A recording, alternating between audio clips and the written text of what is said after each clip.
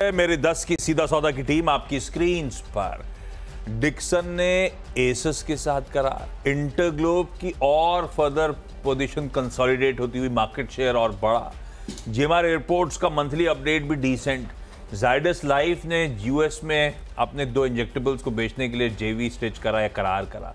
Exide अपने उस subsidiary में और पैसा झोंक रहा है जो नया प्लांट खड़ा करिए बेंगलुरु में। थर्मैक्स को रिपीट ऑर्डर मिला है साढ़े पाँच सौ करोड़ का। दो बिकवाली, या बिकवाली नहीं कहूँगा, रेड है। बिकेंगे वो तो आपको फाइनेंशियल एडवाइजर बताएगा।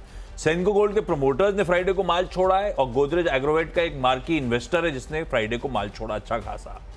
सीडीएसएल के करंट एमडी सीओ साहब को पाँच साल का एक्सटेंशन मिला, इसलिए ग्रीन कर दिया, और एल हाउसिंग फाइनेंस नाम के लिए है।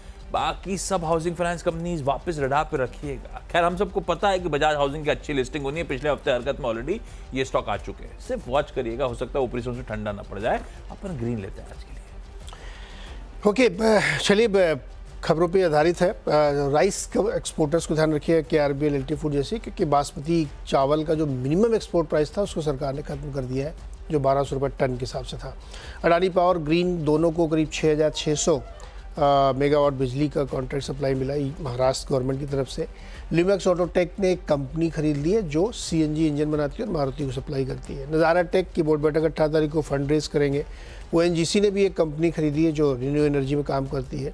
हीरो मोटो पे सेल का वाला यूबीएस की और बहुत नीचे का टारगेट है, तैंतीस सौ रुपये का दे दिया नो टारगेट टाइटन और कल्याण ज्वेलर्स में रेड में रख रहा हूँ क्योंकि गोल्ड छब्बीस डॉलर पार कर रहा है।